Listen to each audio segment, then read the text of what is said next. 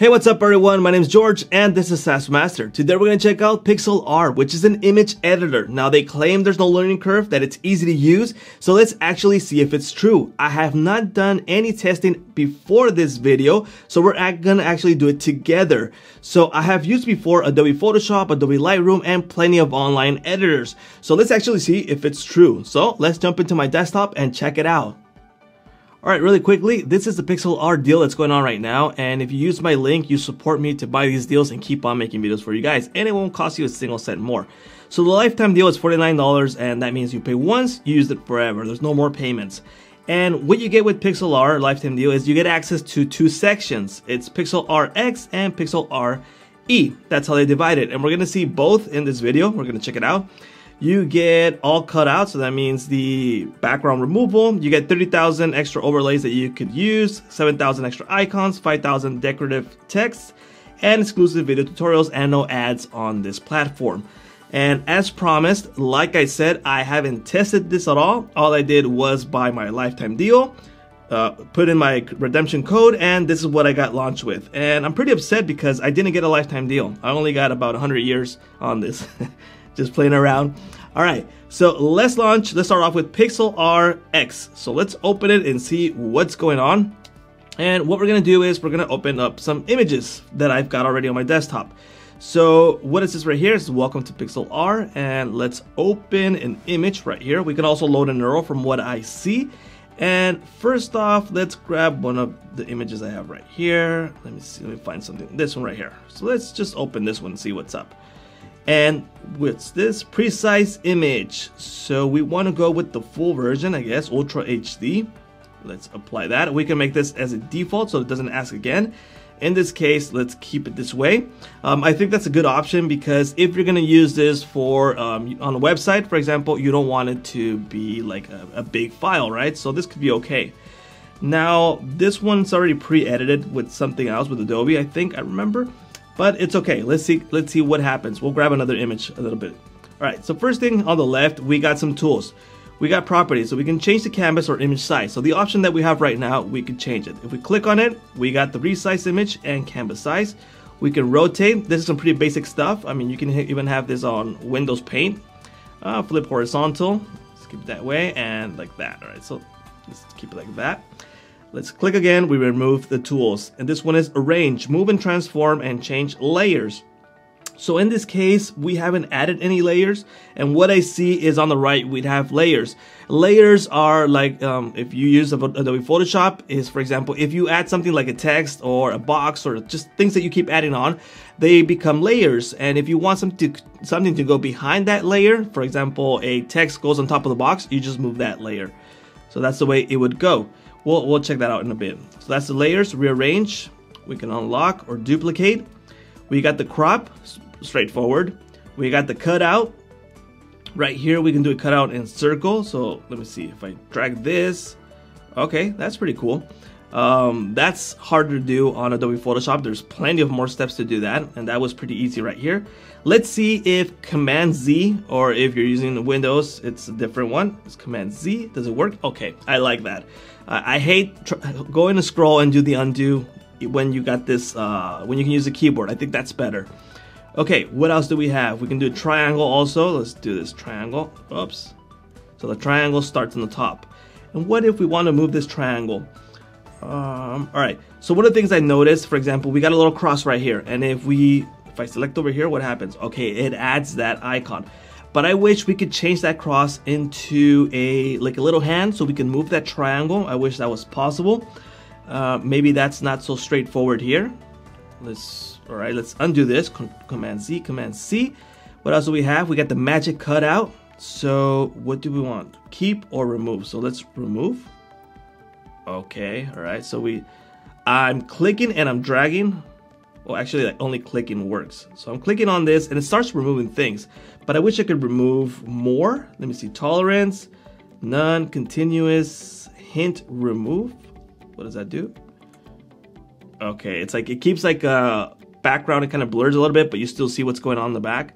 So it kind of does this. If this was a green screen like I'm doing right now, I think that would be much easier.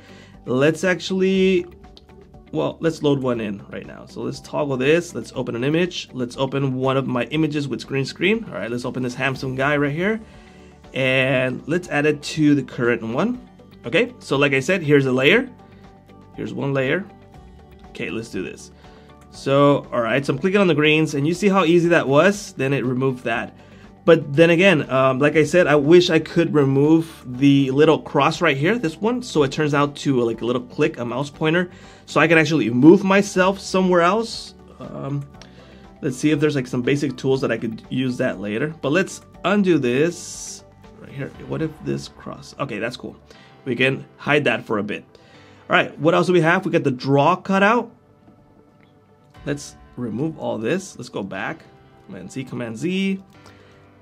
All right, let's Command Z. Now we have select the draw cutout. Let's see if I draw this. Oh, okay, it only cuts out where you draw. Now you could change the size right here and it cuts it out. Okay. What else? A lasso cut. Let's Command Z again. Remove that. Command Z. How does the lasso cut work? If I go all this, all right, it removes that. So I think that's pretty cool.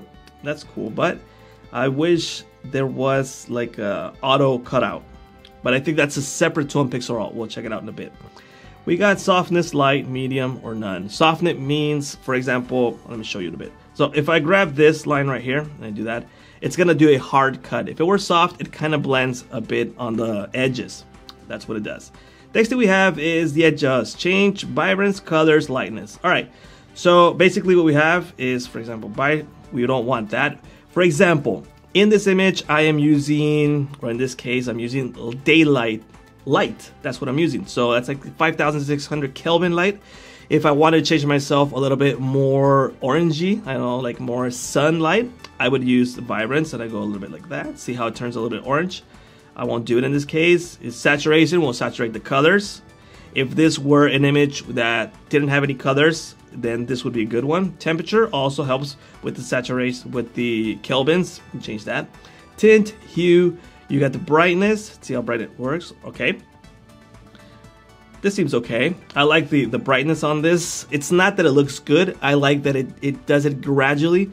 I've used other online tools that like, I mean, you just do like brightness, like 2%, 3% plus, and it goes really bright and it looks bad. This one looks okay. Exposure. All right, exposure will expose everything that's, for example, shadows. You see everything that's shadow, it will expose it. Contrast, you got blacks if you want to remove blacks or you want to darken blacks. Whites, same goes. Highlights, shadows, toning. Let's see what toning does. Let's click on one of them. Okay, I don't see it do anything. All right, doesn't do anything. Fill. Again, we have to consider that I am testing this with you guys. So there's a lot of things that I might not find out here, but okay, there's a curve chart. Can I move it? Double click to add, okay, double click on it. There we go. So we got the curves. Oh, that's cool. We got this available. All right, that's cool. So let's remove all this. And let's jump into the filters. So we got filters right here, which is blur, sharpen, smooth, grain, vignette, other filters, and bitmap layers. So we got sharpen, if you got a blurry image and you want to sharpen it a bit, or just to give it a bit more punch. For example, if I sharpen right here, is it sharpening? Let me, do we have zoom? Okay, we got zoom right here. Let's zoom and let's sharpen. Okay, it is sharpening. So like I said again, with the brightness, it does do it, sorry, gradually, uh, like that. Okay. Whoops. Hey. All right. Clarity, what is clarity? Okay, so it like highlights the edges on clarity. We got smoothness. So this image already has smooth, smoothness on the skin. Want to add some grain. You got the scene, you got vignette. Vignette will like darken the, the edges or lighten, in this case white or black. Any of those two. Fringe, oh that gives it a cool effect, like ooh, looks like someone's stoned with that. Dehaze, never used that, but oh, dehaze. For example, when you are outdoors and you shoot an image and it has like haze, because obviously with long range, you're gonna see some haze on the image, on yeah, on the image, final image. This will kind of help you dehaze that. We got bloom, glamour, glamour, what does it do? Okay, it changes the effect. Posterize, pixelate, if you want to pixelate, whoa, that's a lot of pixelation. Now, something I wish this had, or I can't find it, is that, for example, if I wanted to pixelate some text or a password on this image, then I select an area and I pixelate it. That that would be nice. Maybe I have to add a layer like a square and then pixelate that. That could be an, uh, an option. And mosaic, all right. Next thing we have is effect. Use pre-made effects to change the look. Pre-effects. You got this, for example. You got all those options. I, and personally, I don't like these effects, but I mean they're there. We got the liquify. Glow, grow, shrink, push apart. Okay, this is good. This is something that that Photoshop has, for example, eh, for example, and I haven't seen it in other uh, editors. So, for example, what is this? All right, so let's grab, for example, one of my eyes is always smaller. Don't know why the hell that, that happens, but it happens. So if I do this, okay, we'll liquify. All right, let's undo that. Let's see what we have to push. We got enlarge. So for example, if I enlarge, okay, I'll click that but it's enlarging the pupil, for example. Restore, swirl, uh, size, for example, if I size, okay, that looks a little bit better. Wait, no, that looks weird. Let's undo that. I mean, you get you have to play around with this to see what you want to do with it. But for example, um, something they have to consider that this won't work, but I guess in, Photoshop it will. For example, if you wanted to enlarge some woman's parts, right? and we wanted to push, for example. Let's just say, hey, you know what? I want some muscle. So let's open this right here. We liquefy this. But the problem with this is that you're liquefying the whole scene. So for example, the desk, you can see the line is not moving. So in Photoshop, you would like separate the layer and you would just liquefy, for example, the skin. In this case, I don't see a way to not do that. So it doesn't move the desk, for example. Let's undo that muscle right there. Okay, turns back. And you got swirls, you got restores, just things that are helpful to have in an editor. Next thing we have is retouch, remove spots or one objects. So for example, if we remove, let's the size, let's say we want to remove this. Okay, I'll just click on it and it'll try to replace it with what's what's surrounding is there. So for example, if I had, or for example, here my skin. If I do this, it's gonna fix my skin. Let's just say I had a, a pimple right here or something like that. It would help me remove that. That would help. That would be a, a use case, or if you want to remove something in the surrounding. Next thing we have is oops, hover drawing. So we got the drawing. Um, nothing special about that. Just plain draws. There's draws, eraser, and all that good stuff. We got text right here. Let's add a text box. Here's a simple text box. Um, fonts. These are the fonts available. Uh, there's a whole bunch of them. All right, so we got the fonts available and we got those. All right, next thing we have is the add elements. So in this, we have the overlay library, the border, the shapes, and the stickers. Let's add some stickers right here. Let's wait for that to load. Stickers is at this little beach ball. Looks like it's a ball or not. Okay, that's loaded in and we can set the transparency on it. Yeah, all right. Set the transparency on that, make it a little bit smaller. Let's click on this little corner and drag it. Let's turn back the transparency. All right, click it away. What if I want to add another one? Okay, that is possible. Command Z. We have the other overlays. So if you want to add an overlay to give it an effect, that's possible. So for example, this blue and gold thingy, let's add that. So that and a little bit like that, just some groove. That's just examples if you want to use something like this. Let's remove that, that overlay. Remember we have the layers on the right. If you want to change the overlay, for example, the beach ball, if we want to put it on the top, that is possible we got, what is this? We got add image. So we got stock images available. We got images that we can grab from an URL. And we got the browse images. If I click browse, okay, that's my images that I, got, I have to browse. So that seems to be Pixlr, the X version. And let's just see what else we can find. So there's the undo, redo here, close, save, minimize, and layers on the right, and navigate. So for example, if I zoom too much, I'm able to navigate right here. So if I, na I navigate to a, a, place that I want. That is Pixlr. Let's go jump into the other version. So let's click here on the license and go launch Pixel RE. Let's see what's different about this. And again, we have, we are greeted with this and let's create a brand new one. And we can select the size from right here. So let's do full HD. So that's 1920 by 1080p. So let's create that and we got an image right here. So, oops, so too much. Um, we got the selector. We have the type. This kind of looks more similar to Photoshop. Um, let's drag an image inside of here. So let's go into File, Open Image, Open URL, Open Image. Let's just open an image, and let's open one like this. So let's open this one. All right, that's the image I opened. And we have this lasso right here, which is the lasso select. This is looking more similar to Photoshop. So let's select that. What happens? All right. And if I wanted to delete, it'll delete that. All right. What happens if I right click on it? Oh, nice. Okay. Invert selection. So now it's selecting the outside. So I'll delete and now we're selected the outside. This is looking more like Photoshop, guys. Now this one is a little bit more to my liking. What else do we got? Let's remove this, undo, undo.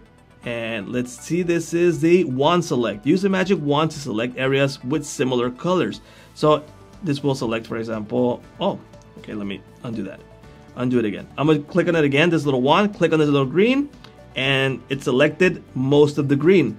Now here on the top, we look. It looks like we have some um, options when we click this. So we got new selection, add to selection shift, remove from selection, or we can use control. We saw that. So if some, for, for example, right here we got some beard, and we'll click on that. Oh, removed it quick. All right, and what happens if we delete? Let's remove that background. We got the background removed. Oh man, this is too sensitive. The the zoom. All right, let's zoom it right here manually. Okay, so guys, fix the zoom. It's a little too, a little bit too sensitive in the trackpad. All right, let's Command Z this. Again, all right, look, look, looks like it's not working. There we go. Okay. Um, remember what I told you guys about, for example, here. I got this little cross for select, and if I click, I wanted to go with the pointer, then here it is possible. This, this is more similar than Photoshop, to Photoshop. We got the cutout mask right here, so mask areas. If I select Oops, my bad. I select it. If I select this greenish, hey, oh, it's only gonna select whatever I choose. Right here we got the AI auto. Let's do the AI auto. See what's gonna happen, guys. Cool, cool. All right, so we got an auto background remover. This is really useful. Did you just bring in an image and background removal automatically? Now, this is a super easy image. Why? Because it has a green screen. Let's load in a more difficult image and do the AI auto. So let's open a brand new image like the one we were using before this. Uh, st studio, that's the, this one right here. This one's more complex. Ultra HD, apply that. All right, let's use the AI auto again. What's gonna happen? Let's see if it's gonna take longer. Is it gonna be more difficult? How good is it gonna work? There we go. It kind of worked okay. Can we fix what's left? Let's see, we got the tool, shape, mask.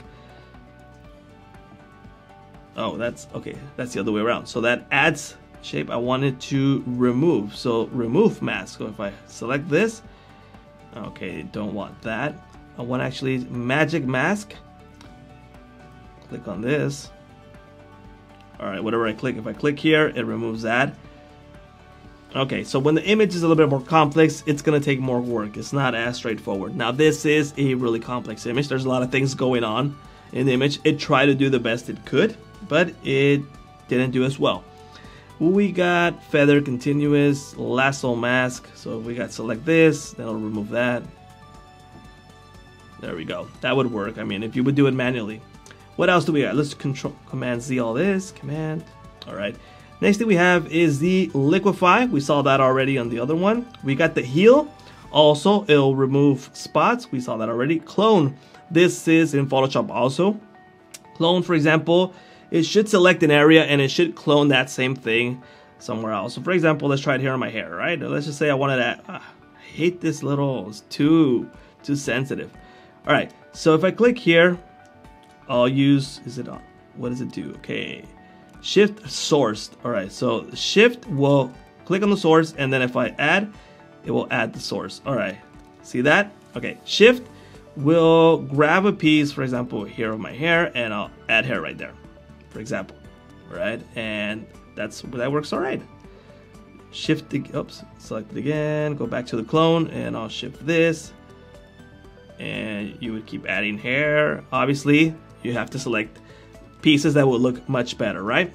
Not like that, but it works. It works. We got the paint, select source, and we got, for example, okay. We got paint and source, and we got the brush size and how much you wanted to use. Cool. Whoa, that's a lot of options right here. Cool, nice. We got all that. Next thing we have is the blur, sharpen, smush. So for example, if we wanna blur this face, right now blur is selected, and let's make it bigger. So let's switch the size, okay. And if I blur that, okay, that worked. Command Z. All right, we got sharpen. If I want to sharpen, if I click, click, click, click, click, it should be, keep sharpening until it sharpens too much. All right, that's cool. And we get the smush. Click one time, click twice. Oh, I have to drag to smush. Okay, so if you drag, it smushes. all right, we got the size also right here, the brushes, styles, and all that. Oh, something I just noticed. Cool. There's the sections up here, like Photoshop. So we got um, the tabs. We got tabs right here. We got color controls, which is dodge and burn. Lighten or darken areas of the image. Bring out dark areas. That's cool. So let's put this image smaller.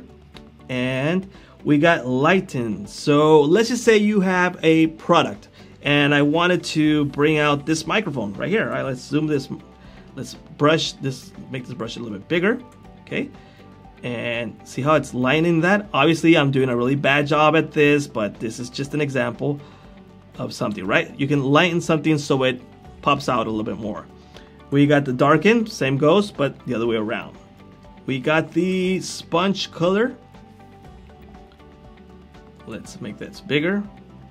Okay, make this image bigger. Okay, so this is, it will put some color inside. Increase, decrease, vibrant, saturation. Command Z, all that. We got the pen, don't want to see that. Draw also, same, nothing special. The eraser, nothing special. Color replace, that's cool. Uh, fill, we got fill whole areas with a single color. So I'll just click on that. Okay. So maybe you have something that's in like a vector image and something that's already like a square or just something really defined. That'll fill that. Let me see if I have something to fill in right here. For example, this white right here. I would fill it with, oh, here's the colors, with black. Oh, well, it's just red. Okay. And red. So it'll try to fill that. If it were something more defined, it would be much easier. Next thing we have is the gradients.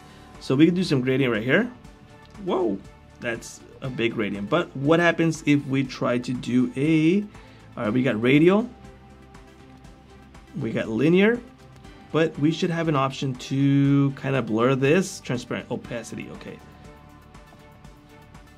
Mm -hmm. Okay, let me click on this mouse, Command Z.